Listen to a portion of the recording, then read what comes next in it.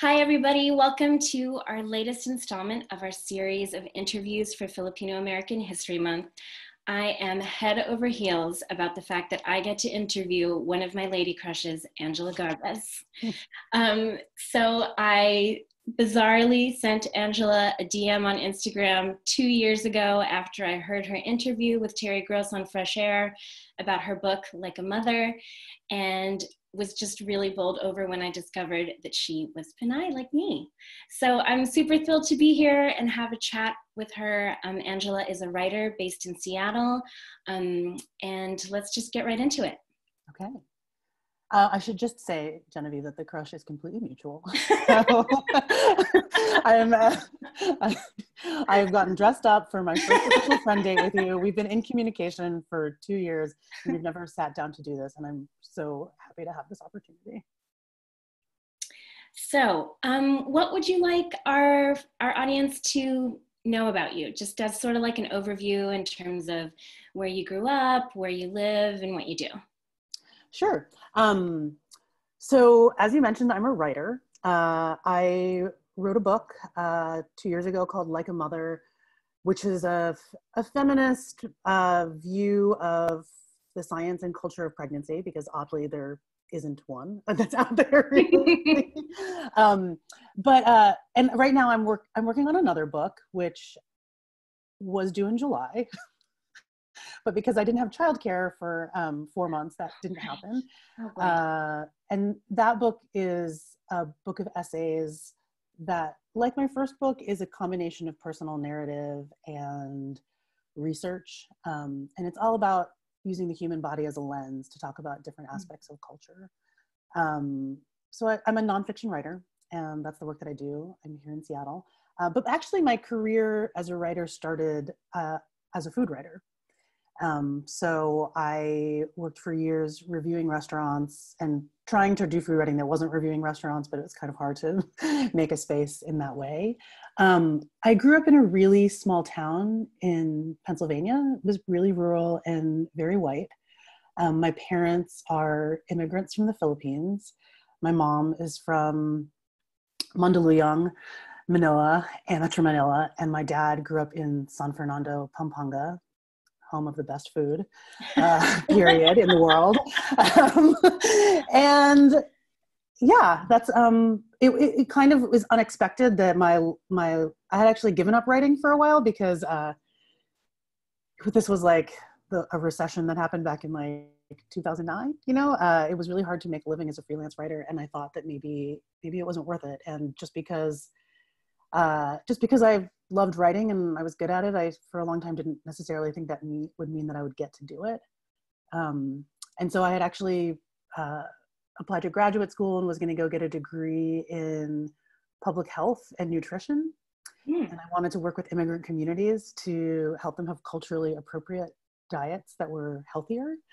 Um, but then uh, this is a long answer sorry. Um, i'm into it. Keep going. Yeah so i had i was actually like on this other path where i wasn't i had given up writing and then i got pregnant and i have two daughters noli who's six and ligaya who's 2 uh-huh. when i was pregnant with noli um, my due date was the day that i was going to start graduate school so i deferred. Um, and then after she was born i got a call from the alt weekly here in seattle that was like we have a staff writer job. Um, we want to hire a staff food writer. Like, do you want to come? And I was like, no brainer. Like, this is my dream. Mm. Um, and so that was 2014. And so I've been a writer since then. And then um, the opportunity to write my book came from an article that I wrote there at the paper. So that's just, I just say yes to things and follow opportunities when they come available. And I don't take it for granted that I get to do this. And it's like literally a dream come true to be a writer. Mm-hmm. Did you always love words writing ever since you were young? Yeah, I think um yes, for sure. Again, I never um you know, I my parents god when i they're so adaptable they're so wonderful they're such wonderful people you know i went to college and was like you know i, I worked at the school paper when i was in high school uh-huh. i did um speech and debate i did uh, uh oral interpretation, which is that I used to read poems and short too. stories. Yeah. So I mean, I was clearly like in love with words and um, you know, certain element of performance or communication. And my poor parents, you know, like I go to college and I'm like, I'm gonna study English. And they were like, what is that? like, they were like, you already speak English, right? Like, so it was like they're very supportive, but the immigrant mentality is like, what what are you gonna do with that? Like, how is that a job, right? Mhm. um so again like i just never I, I you know i pursued all of these jobs. Really they're just a bunch of dying industries. Like the first thing i did out of college i interned for a poetry press.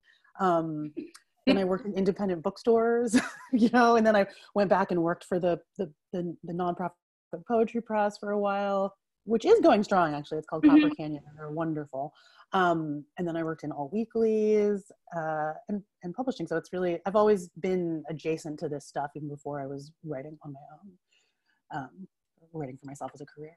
Mhm. Yeah.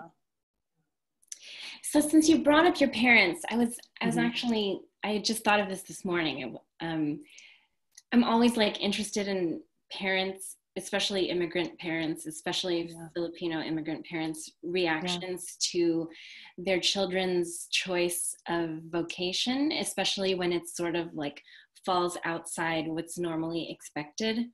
So, can you talk a little bit more about that, like? Um, process if it was a process at all and maybe it wasn't at all in terms of um, your parents understanding the work that you do as a writer and how they how they sort of see it from their perspective Yeah. Um, I love this question. Uh, it's definitely been a process. Um, and I'll say this, like I, I feel like I'm, I'm so lucky because I have been, I'm like, I've always been a loved child. Like unconditional love was a thing that, um, which is huge. It's the basis of everything good in my life. Um, I always had that from them. Uh, but I definitely have grown up and I've, you know, as I've been older, I've understood that, that my feeling was unconditional love is beautiful, but it doesn't mean that someone necessarily understands you. Right. And so I think that my parents have always been supportive, but there's been a massive um, gulf between understanding what I do um, and uh, just like really getting it. um, so, so I think, and I know that, and I don't feel like they've been disappointed in me, but I think they've been sort of frustrated and ha- haven't really understood like, and you know, like writing is not a lucrative career, you know. so I think that they've been worried for me. Mm-hmm. Um, but um, it's a process, and I think now that I'm uh, established in my career, there have been certain markers of success that make it easier for them to to get it. Mhm, Um, mhm. But I didn't know this until a couple years ago. My mom told me that when I started writing, doing food writing, just like freelance, like this was like 2006. Like I think my dad's had like a Google alert for me for as long as he's Oh. had, and I didn't know that he like reads everything that I write. So oh I mean, gosh. even if they can't say like i don't know even in times when i I- know that they are they're trying they're always trying to understand Mhm. and um you know i was thinking about this the other day i sometimes i think i'm my dad is actually a really wonderful writer. I mean he's he's a pathologist right? He's he's the first person in his family to go to college and his my grandparents were like you're going to be a doctor and he was like okay whatever right? do that. Um, which i think is uh, also hard of why my parents were like what are you doing? Like can't you just right, do right. this thing that we said you were going to do? Right. And then i'm like but you brought you you raised a daughter in america. Sorry like i'm not probably not going to be exactly who you thought i was going to be right? Uh-huh. so there's a lot of working on on both sides but um i think in many ways that i am a writer i'm i'm toying with this theory. I think i'm a writer because i i think everything i do is like a love letter to my parents. Like i Oh, think it is like a way of i really so want i mean it's it's it's not like sometimes it's unrequited right? It feels a little bit like i i feel like i write to like explain myself right and explain the world that i see and i've grown up constantly translating who i am to them. Mhm. constantly translating you know when you grow up and you see your parents disrespected right? They don't have the vocabulary to say microaggression but like Mhm. you witness that and that's horrifying. And so i felt like i grew up translating my parents mm-hmm. back to the world. Like no really they're like normal. They're they're this and they're that right? They're so smart. They're so hardworking right? And then i'm trans i'm also like translating the world like america right to them mm-hmm. right which is not to say that they don't understand it it's just right. that they see it through a particular lens so i think like so much of writing is making sense of those things and so many mm-hmm. disparate mm-hmm. elements and um yeah i think that that i just the who i am and how i grew up and like how i write i think all of that is it's very much tied up for me yeah. mm-hmm, mm-hmm, together yeah yeah part of why i asked that question is because i feel like like i'm really amazed at how long my parents have hung in there with me you know and i still see them as like hanging in there. Yeah. very, like, much, very much true for myself yes. Like how's this going to turn out? Um, but before we opened the restaurant i was working in other restaurants um, for a, a while like probably when we opened the restaurant 2012 probably when we opened the restaurant, I'd been working in for about eight years in the restaurant industry, and that was after 10 years in nonprofits, which mm-hmm. they also were like, what is going on? Yeah. this is not an improvement. Um, I mean, I think about parents, like Filipino parents, right? And you're like, so I work for a nonprofit. And like, so you're not making money. like, it's a very, the first hit is like a literal translation, right? Right it's not a it's not a fun translation. Um, so I think I was I've just been really like amazed at how I've made like so many very different choices and they really have just been so supportive and yeah. and not like everything has been like super smooth sailing but I just feel like they've always it's like what you said about the unconditional love thing. Yeah. I just feel like it's such a foundation that everything else is put on top of. And yeah. um and it really is amazing to me that you know, with everything that they sacrificed and left behind in the Philippines, um, I just can't imagine that feeling of sacrificing all those things and then making seeing someone that you wanted to give every option to just making choices that seem curious right. yeah no i think about it as like my parents are have always been they've always loved me and then they've been as supportive as they have been able to be mm-hmm. right like mm-hmm. even if it doesn't make sense mm-hmm. and even if they say things that make me feel like mm-hmm. so you think i'm a failure right um, but uh yeah i think to the to the extent that it has been possible to them like everything that they've been able to do to support me they have mm-hmm. um, yeah and it's not it's so imperfect but that's family right mm-hmm. like you just you you you talk it through or or you don't talk it through um, but you're just you just show up mm-hmm. however and sometimes it's messy and that's just the way it goes mm-hmm. yeah like and i think it like it goes the other way too in terms of like what we want from them it's mm-hmm. like maybe the more important to remember is how much they love us and that like sometimes i feel like i want a very particular kind of endorsement that's probably not going to come. Yeah. But then it's sort of like it's okay. Like they support in the way that they can like you were yeah. saying and the love is there. And you know like it, it's not always coming in the form necessarily maybe that we want it to. Yeah. That's not like the end of the world.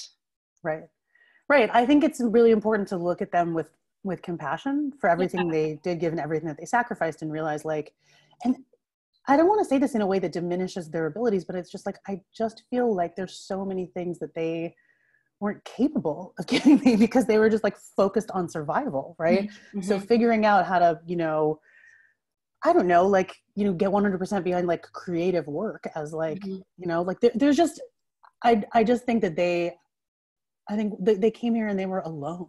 Yeah. Right? Like Filipinos are all about family and community, and they came to the U.S. and were utterly alone, really, mm-hmm. um, for a long time. Mm-hmm. And I think that they, yeah, I just think that again, like it's we can't. I try to. It, it's both things can be true. That I can feel like I didn't get all the things that I wanted from them, but that like, uh, but that they gave me everything that they could. Mm-hmm. Mm-hmm. Yeah. So part of why I was one of the many reasons why I was excited to talk to you today was I was excited to talk to another Pinay mom friend. Uh-huh. Because I don't really like have a Pinay mom friend that I'm like in touch with on the regular, you mm-hmm. know. And mm-hmm. adding another layer to that is being an industry mom. Um, I feel like there's so many more restaurant industry moms now than there used to be. And so I, I love even just thinking about them and thinking that they're also there working in a restaurant and having, you know, dealing with childcare and distance learning and everything. But I don't actually get to like see them or talk to them uh-huh. because we're so busy. Yeah, no, totally. You know, it's like when would industry moms hang out exactly? Like even before COVID? Because yeah. I know for me, it's like if I wasn't working service, and I had a free night off, it's really hard not to have a lot of guilt about not spending that with your family. Right. You know? Yeah. Um, so I'm just like, and, and, and also I just feel like, you know, through the social means, I feel like I like so enjoy your your approach to parenting and your family and um, i just like feel such great like very joyful vibes um, and so in terms of i feel like food is such like a central family thing in our culture. Mm-hmm. and so i would love to hear about how you introduce filipino food to your daughters and like what that what are they into it? Like do they like to eat? Like yeah. in terms of connecting them to to your experience and your you know like your heritage. Yeah. Um so i mean a huge I'm going to kind of back up a little bit and then take on this question. So, a huge reason I can see it now in hindsight that I became a food writer because that wasn't like a predictable path um, was because of how I was raised. So my my parents came and they cooked Filipino food for us a lot, mm-hmm. um, and I've I've always loved Filipino food, right? Like my older brother, this is not a diss on him, but he was just like, he was not feeling it, right? Like he wanted peanut butter and jelly and he wanted like old El Paso tacos, which I also wanted, but I loved sinigang. Um, I loved pancit palabok. Uh-huh. Um, that was like my favorite, favorite food. It's the best. And taco. it is. But so this is really interesting. And this is the thing that I think about all the time is how, wh- where I grew up, this was before I mean, the only thing in like the ethnic aisle at the supermarket in the town that I grew up was like La Choy, like La Choy brand soy sauce, right? And so my parents like were really committed to making Filipino food against kind of all odds. like there, there were not ingredients. So we would sometimes go to New York. We would visit my tita oh. Fe in New York City, and they would buy like multiple 50 pound bags of rice, and we would get the like tiparos, uh, patis, right? like all of this like rufina, like we would get massive quantities of like Filipino ingredients and bring them home. But so my mom knew that I loved palabok, and so she would make pancit palabok, but she was not pounding shrimp heads. She used to make pancit palabok with Campbell's condensed cream of shrimp soup. That is brilliant. right? So there was this this adaptation that I think was like, but I it's to them, I mean, that work that they did was like it instilled in me like it was their connection to home. So I see that now. Mm-hmm. And so, yeah. so much of like when I got into food writing, I did it with a huge chip on my shoulder because I was like, why does, wasn't anyone writing about our food? Like, mm-hmm. why is this ethnic food? We're all ethnic, mm-hmm. right? Like, mm-hmm. why aren't we talking about like Filipino food or any food of any other culture? Like, you know, here in Seattle, like people would be like, oh, right, like you're talking about a $20 plate of pasta.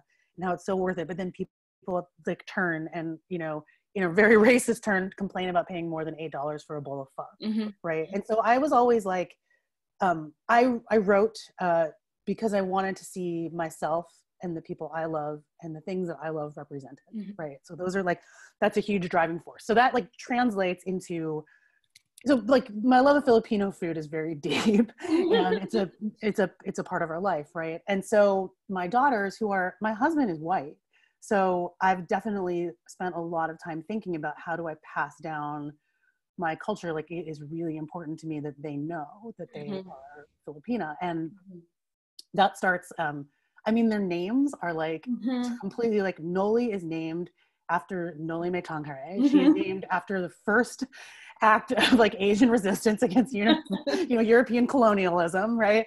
Um, and Ligaya, we wanted like an uncolonized name. Mm-hmm. Uh, or I, I mean, my husband goes along with this. It's not that he doesn't want those things too, but like this mm-hmm. is very much like my personal like motivation. Um, but so as far as Filipino food goes, I actually, you know, I grew up eating it, and I make some things, but I really relied on my parents. Mm-hmm. Um, and because we live close to my parents, like there's a lot of, and I think for a long time I thought, I can't cook it as well as they do, so mm-hmm. we'll just go over there. But um, but I've but it's it's I've taken on more and more as they've as as they've been growing. Like I do it more often, and it's it's so important to me. Um, so every year for birthdays and everyone's birthday, we make uh, pancit, noodles for long life. Right, right, um, exactly. They love, they love pancit. But luckily, they they do like Filipino food. My daughter, Noli doesn't like shrimp, which is so odd to me. But I'm gonna not see it as a character flaw. But um, but they love they love arroz um, yummy. They love tinola. They love soups, mm. um, and they do love adobo. And we make uh, lumpia. Mm-hmm. I made lumpia for Noli's uh, preschool class um, as like a to come in and like, talk about stuff. So they they're very open and they've both been to the Philippines and they'll try everything, but they're not um yeah, I mean of course I want them to be eating like buro and like I want them to be eating like all that stuff. And they're not necessarily into that. Um but yeah, like all kinds of stews, nilaga, they really love. Oh, I love nilaga. Like that kind of thing. Um but they also eat a ton of American food and ton they, they eat widely, you know, and actually mm-hmm I didn't make pancit this year because Noli requested that I make pad thai. Oh, really? yeah, she loves pad thai. She's had restaurant pad thai and been like, it's not as good as yours. So, oh. of course, like, straight to my heart, I'll make you whatever you want. And I was like, it's still noodles. So, totally. Um, but yeah, like that's food is a big way, right? And we gather with my parents um, now that we can do that again. Um, mm-hmm. And Filipino food is always there's always something Filipino on the table. Mm-hmm and and then we've also been expanding um you know my uh i wasn't raised speaking tagalog which is something that i feel a certain amount of embarrassment and maybe even a little bit of shame. And that's been a conversation that i've had with my parents. When i was growing up i asked them like why didn't you teach us tagalog? And they told me that it's because i didn't want to learn. And when i got to be like a surly teenager i was like how did i how did i learn english? Like i learned english because that's what you spoke to me. And it was only until like you know my maybe my late teens my early 20s that my father like we had this really he had a you know he was able to make himself really vulnerable and was like I mean, Filipinos are so adaptable. Mm-hmm. He was like, I really felt like I was discriminated against, and people made fun of me because I had an oh. accent, and I didn't want that for you. Mm-hmm. And I think he kind of regrets it, and mm-hmm. I'm sad about it. And I have tried to learn Tagalog. Like it's kind of like it's like over the course of a lifetime that it's happening. Mm-hmm. Um, you know, I lived in the Philippines for six months after I graduated from college, and all of my cousins were like, because everyone speaks perfect English. They were like, your accent is so bad. they were like, it's just really easier if we speak English. And I was like, oh man. And that's hard. It is. um. Um, and then I took like an immersive class. I, I mean, I, my husband and I, after we got married, um, lived in the Philippines for a month, and we each had like you know, we had a tutor come and work with us for like five hours a day for a That's couple. so cool. And but it was frustrating though because my teacher was like, "You know Tagalog." you totally know Tagalog. And I was like, I, I don't. Like, I have the vocabulary, I have the capability, I can understand it pretty well, but I have the capabilities of like a five year old. And, but, she, and I was like, what I would need to do is like probably go and live with people. And I think I could pick it up pretty quickly, but no one, the option of speaking English like shouldn't exist right, at all. Right. Um, cause especially with family, you're going to default to the, the best way to communicate, right? Which right. is I don't know. So anyway, but so my, my daughter spent a lot of time with my parents and I've asked them to speak in Tagalog with them because I want them oh. to have, oh. if nothing else, the amount of Tagalog that I have. Mm-hmm. Um, and then my dad just got us as a present, he got us a like Rosetta subscription so that we can work on oh, our, so our Tagalog together. Yeah. I bet you they must love speaking to them in Tagalog. They do. They love it. And oh. yeah, it's very sweet, you know, and the, um, the little one has, has, you know, picks it up, has picked it up, I think, because we started more um, when she was younger. Uh, she is mini me. she totally is. She is yeah, that's terrifying. she is she does it's funny, it's weird, like um it's strange like to have someone that when people say that like that she looks just like you and i'm i'm willing to concede that she does look a lot like me and she has her own distinct personality but mm-hmm, it's mm-hmm. um I think it's really it's powerful when you become a mother and then you have like my oldest daughter like I feel so connected to her and I love her but mm-hmm. she's like a little she, she's lighter skinned and I sometimes worry that she can pass for white um but the little it's i don't know it's a i've never actually talked about this it's a really strange experience to have someone who looks so much like me um I, I think it makes me confront all of the like internalized stuff about like how i feel about how i look and mm-hmm. Um, mm-hmm. you know but it's wonderful to hear people be like she looks like you and she's so cute. Oh, she's, she's so beautiful. just like you. Oh thank you. Um javier i do have these moments with my son javier. It i think it happened more when he was like three or four. He like really super looked exactly like me when he was like three and four years old. He still looks so much like me. Mm-hmm. Like i spit him out yes. yeah um, and we actually had a friend once who was visiting we were like hanging out together when he was about two or something and she turned to ben my husband and she goes I think that Genevieve made this baby all by herself. Poor Ben. Carbon copy. He looked like you took one of those like old knucklebuster credit card things. I was one and he was the other. You peel it apart and there you are. Yeah. Oh. But I have had these moments with him where I look at him and I literally feel like I'm just looking right at myself. Yeah now that he's older and his face is changing and he looks a lot more like Ben every day, I have other moments where he behaves like me. And it's like that moment of recognition of behavior that mm-hmm. is like so exactly like that thing that you do that you know about. Yeah. yeah. sometimes you don't like it. Yeah, no, it's and they're that's like, what I meant. Like it's a little scary sometimes. Oh yeah. Yeah.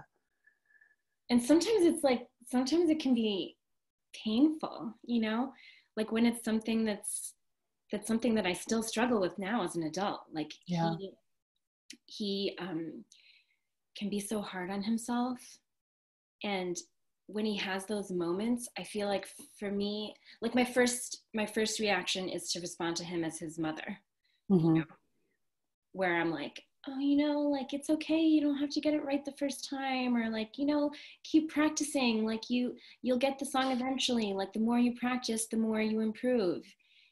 Um, and then I have this other reaction underneath that where I'm like, oh my God, is that what I do? Mm. It's horrible, you know? Yeah. It like makes me like so sad because yeah. I want to respond to him in the moment and be like, and make it okay and like make sure that he has a strong foundation where he doesn't do that to himself. But then I'm like, oh my gosh, I've been doing that this whole time. yeah. And I think it's like it takes a moment. It's really, you have to be really self aware and generous with yourself and be like, okay, so I, am doing that to him. Like, can I, can I do that for myself? Too? Right. Um, I mean, Ligaya is only two, so it's, it's different because she's really young, but, um, she, she's she seems very precocious. She seems older she's very precocious. She's very strong willed. She's very communicative. Like that, I mean, there are some similarities, and it's it's scary. um, but she is. She's also um she's very defiant. It's part of being two, but she is uh-huh. she's just such a strong personality, and she's so stubborn. But um, so she gets in. We have to discipline her, right? And so I have to talk to her about things. And this is actually one of the, one of the hardest things. It's really like just like we were talking about. So when I discipline her or she understands that I'm disappointed in her, oh. one of her reactions is she'll go and she'll start scratching her own arm. Oh. And I always have to stop her and be like, we never hurt ourselves, right?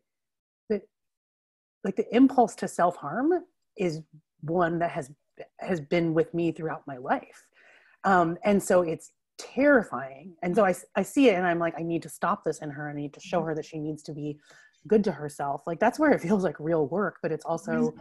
like i'm telling myself the same yeah. thing you know yeah. and now as i'm older it's not it's not it's not the same because it's not as physical but like that impulse exists in me always has um mm-hmm. and it's i've turned it i mean it's it's almost worse. I feel like it's almost like an inward psychological kind of thing.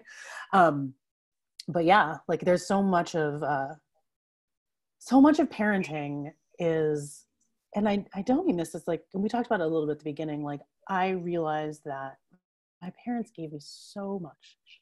But the way i parent my daughters is is very much like wanting to work with giving them all the things my parents gave me but also explicitly giving them everything that they didn't mm-hmm. everything they like weren't really capable of um like i think in immigrant families or at least in mine there is just so much silence mm-hmm. right i mean there's a lot of talking right but there's a lot of talking and like and that kind of thing but there's not like I mean, like, we didn't talk about our bodies, right? We didn't talk about race. We didn't talk about identity. Like, my parents gave me object lessons, but like, I'm just, my husband teases me because sometimes he's like, you know, not everything is a learning opportunity with the girl.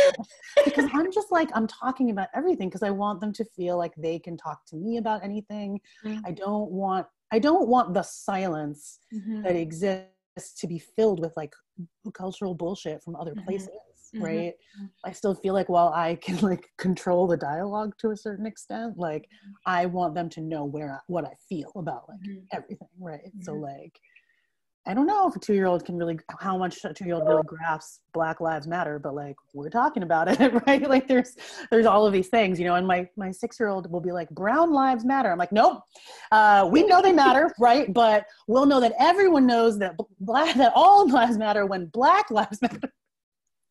It's just, it's just stuff like that. That I mean, I don't know if I'm doing it right, but um. Well, I think it's so important yeah. because I mean, what do we know? We know that what they hear, the messages they hear at this age, are the ones that stick with them forever. Yeah, and if they're not hearing it from us, they're hearing it from someplace else. Yeah, I, I, can't take that risk. yeah, totally, you know?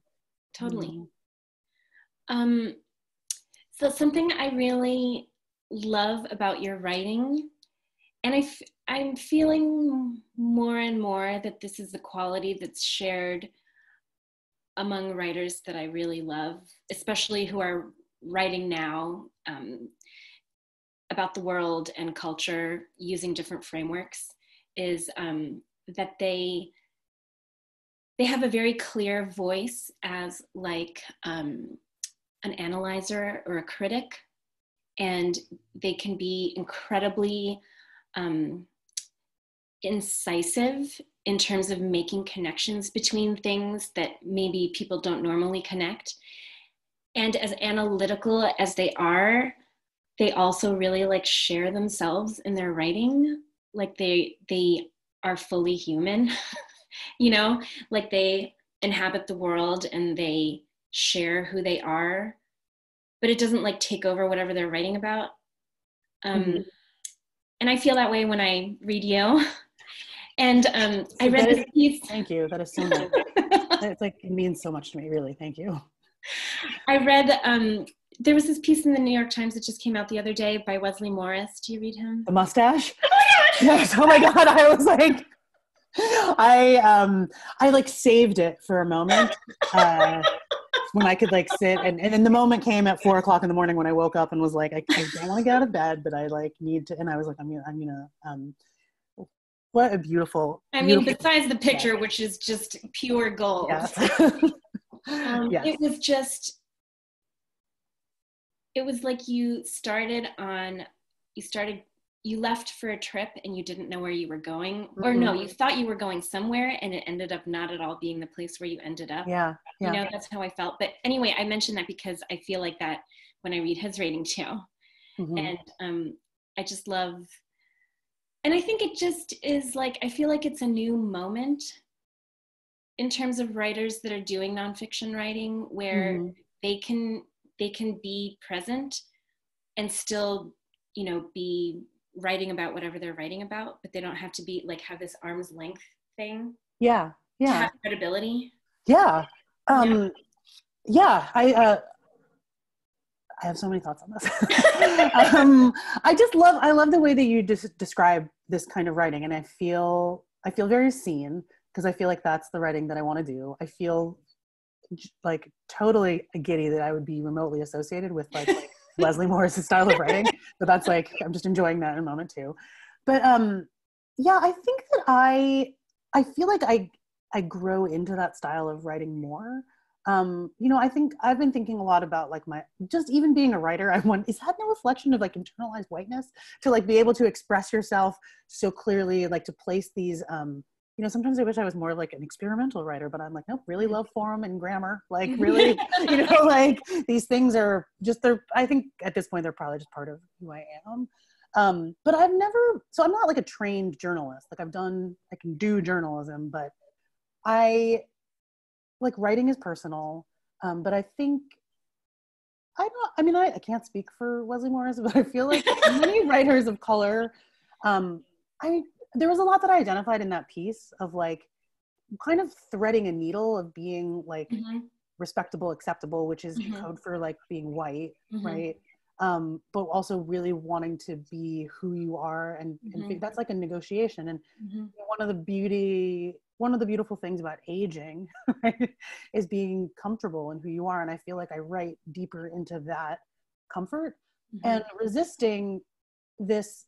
You know, when I wrote my book um like a mother i definitely i didn't think i was like la la la i'm writing a book about science and pregnancy. I'm not writing a book about myself.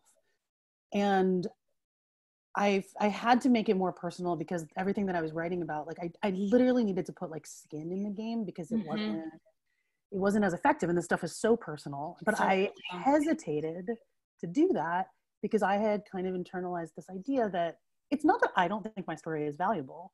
It's just that the market reveals that like the outside world doesn't necessarily think that stories like mine are as valuable. And especially having been a food writer, you know, people want to hear about your trip to France or like your mm-hmm. like relationship to like French food and baguettes, but like no one really, like, sorry, like it's, it's really no, like I'm partially laughing because my husband is obsessed with baguettes right now and he never has been ever, ever, ever and it's because he read this book that was set in France, and then he just started buying baguettes like for the past three weeks.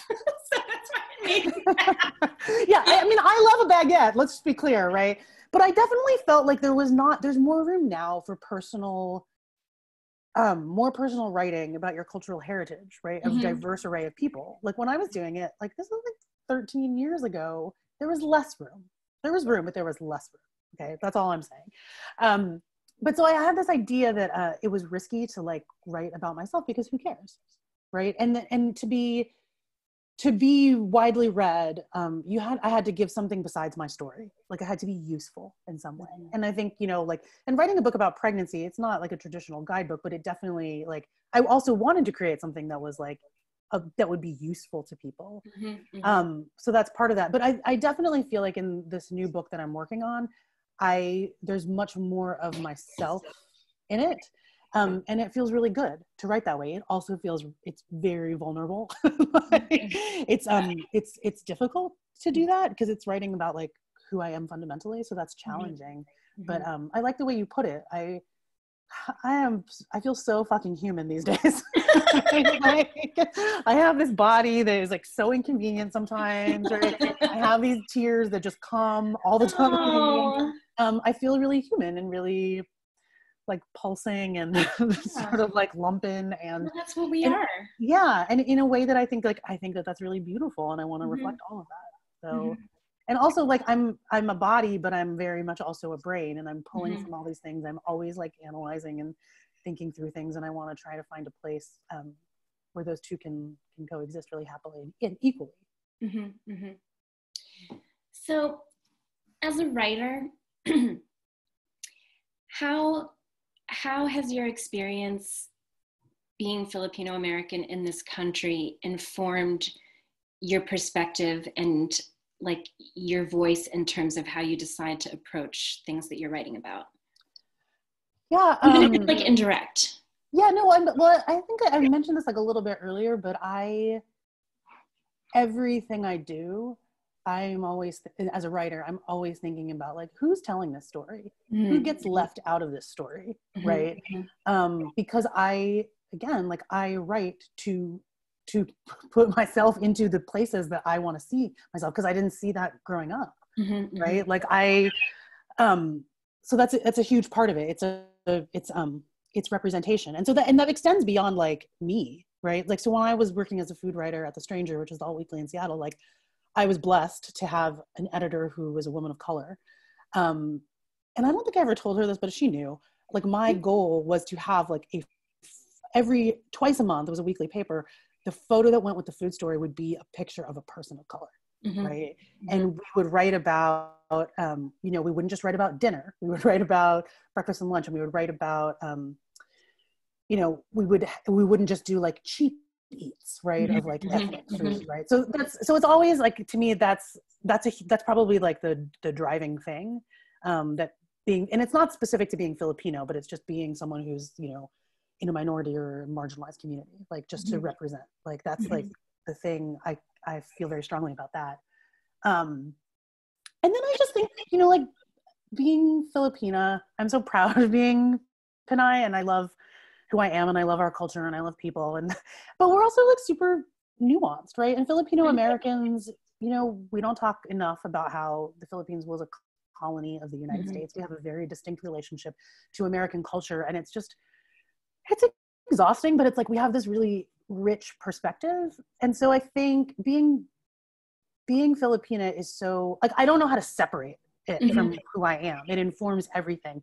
And I like to think that I, I try to bring that same kind of richness to my writing, which is like, I just, it's not enough to just tell a personal story. I want to provide some historical context. I would like mm-hmm. to provide like a reference to like some artwork that I think feels relevant. And so I think there's a lot of grading that I try to do um, that reflects, you know, many sources of inspiration in the same way that being Filipina and being Filipino American has so many different aspects to it. Mm-hmm, mm-hmm, if that mm-hmm. makes sense. Yeah. I mean, I think if anything, something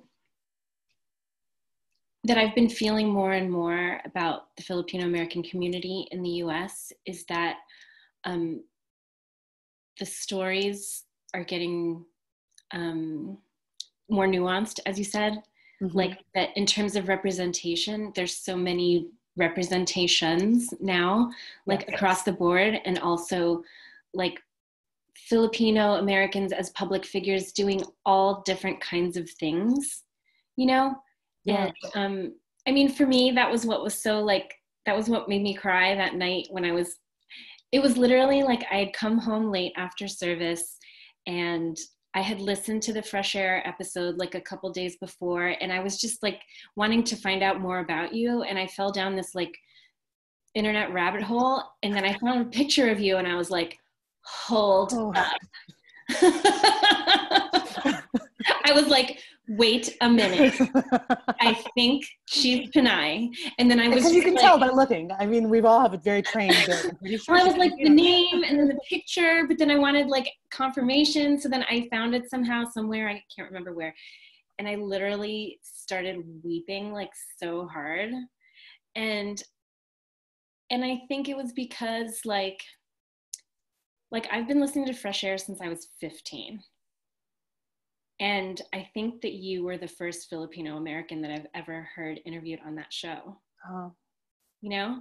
Yeah. And it just was like, and not only that, but it was like when I was listening to your interview, I just was like so loving everything that you were saying. Even though Javi is like eight years old now, there's so much about my pregnancy and birth that is like very very vivid to me and mm-hmm. still continues to inform how i feel as like a physical person like sure yeah. it's you know so it's like it's very present even though it's not like i have a newborn or i don't yeah. even have like a two year old but it still is always like present with me. So yes. when i was listening to the discussion you were having i was just like really feeling it. And then and then when i realized that you were pinay it was just like I don't know, I was just so overcome. And um and so I think that's something that gives me like so much joy about where our community is right now is I feel like um that there are these cohorts of people and I feel like people around our generation and then younger a few half generations below us also I feel like people are really like embracing freedom to like fully inhabit themselves yes you know and like um and challenge other people's expectations of who they think they should be. Mm-hmm. And even including when sometimes they're challenging expectations of others in our community. Yeah. Yeah. You know? So um, I just am so like heartened by that. And and I just feel like it it feels really special, you know? Yeah. I mean, I was thinking, you know, again, it's not like I, mean, I think white people have a misconception too that like you know, like you're people of color and, and you know, specifically, I'll, you know, talking about me here, like, you know, I'm not walking around being like, right? Like, I'm just me, right? Like, like I have a, who I am is a rich and multifaceted person, right? And so there's, I, but when you were talking about listening to me on Fresh Air, I'm really proud I mean, first of all, if I am the first Filipino, I don't know if I am, but like that makes me so proud. But it also like I do feel a certain amount of pride that I'm not on there specifically, that I wasn't on there specifically to talk about being mm-hmm. Filipino American. Like mm-hmm. I could definitely do that. If Terry mm-hmm. Gross wants to like have me back on, like, we could have a talk, right? Like I'd be, it would like I would be lovely to talk about that part of my identity because I'm I'm so happy to do that and I'm so proud. But like that's the thing, like I don't have to do that.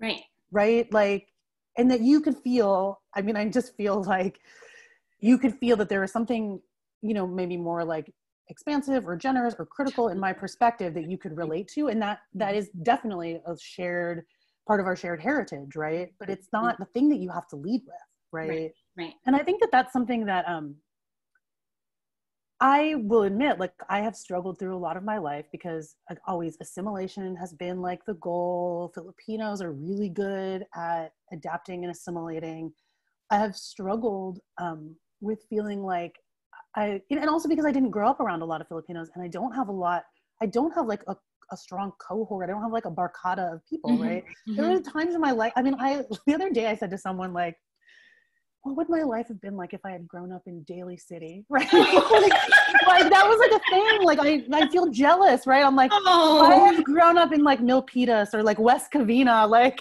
what would I be like? Right? And it wouldn't be you. Right, exactly. And but that's a thing that I'm still coming into. And right. Like it's it's I like just being able to express this and say this, which is that I have struggled with feeling like I'm not Filipina enough. Mm-hmm. Right? Like I don't speak Tagalog um, like my body type is very different than like what everyone in my family would lead me to believe is what a Filipino body is, right? Um, so there's there's all of these things, but um, but I'm I'm getting more comfortable with, and what you were saying really resonates with me, which is like I'm Filipino enough because I am, I am right. who I am, and like that is enough. Yeah. And there is no one way mm-hmm. to be Filipino. Mm-hmm and i just think you're right like we just see more and more of that and i want to be part of you know with whatever kind of like little platform that i have is just to um you know i think people like you reaching out to me like when you reach out to me that meant so much to me. You were one of the first people i think you were the first person. Really? Like, yeah you are also pinay and like that means something to me and i realized like it's it meant something to you to like see yourself in me so but much. it meant so much to me to be seen by you uh-huh. and it was it's being seen like those are the things that mean the most to me that's like the feedback that i never anticipated getting was like hearing from so many women and realizing like oh like i have a chance to like rep us in mm-hmm. a way um so i'm never going to shy away from like sharing that part of my life again it's i don't ever have to do it all the time because I, I there's so many other things to me but it's like uh I don't know. It's like the way water is like part of your body. It's like 98%, right, right, but like right. you can't really pinpoint the exact place. Like that's how I feel about being Filipina. Right. no, that's perfect. anyway.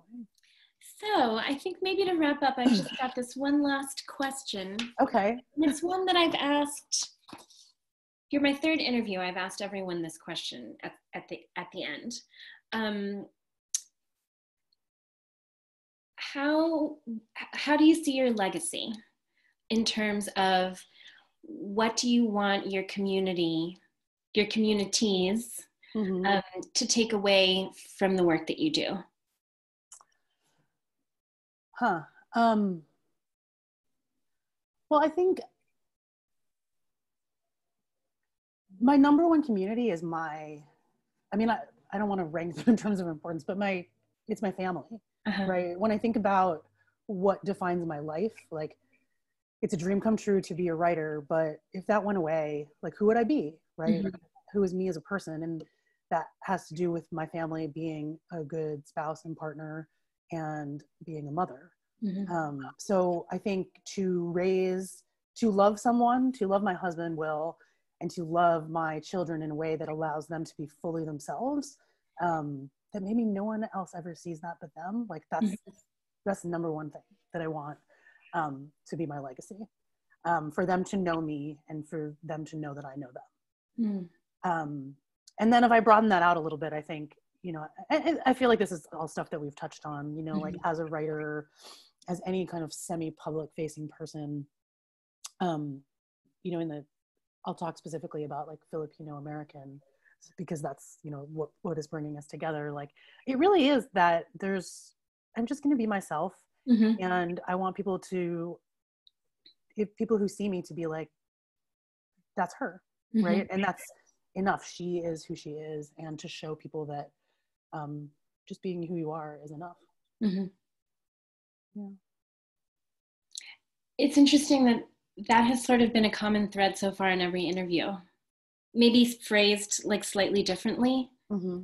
but just like a sense of like what it what it means for each person to be themselves and like yeah. how long sometimes it takes to figure that out yeah. or like how much resistance there is to inhabiting that person mm-hmm. sometimes yeah and sometimes from your own self yeah yeah yeah well, thank you so much for making the time to chat with us today. I feel like this has been like incredibly cathartic. and also just that it feels so good to see you and make connection after these two years of like sending yeah. each other messages. Um, I just feel I feel really so appreciative and grateful that you are out there in the world and that you're writing and using your voice um, in the way that you do just because um, it just it just matters. It matters and it um, it touches people in ways that you will never know yeah. you know? Mm-hmm. and it's just like a really really special thing. Well thank you. I'm just uh, just crying mean, you know, I'm always, it's like a miracle to me whenever I hear from anyone, like that someone would take the time to like reach out to me. So it really like to know that it, I know that it matters, but like to actually have that is, um, it's just so meaningful. And um, thank you. I mean, I said this before, I think we started recording though, that like I did this interview, um, not so much to talk about me, but to like be in service of Genevieve Villamora and Bad Saint. and I feel like your work, the work that you do is important and what you put out there is so significant and meaningful to people. So um, I'm just happy to be a part of it. Oh, thank you. thank you. Bye. Bye.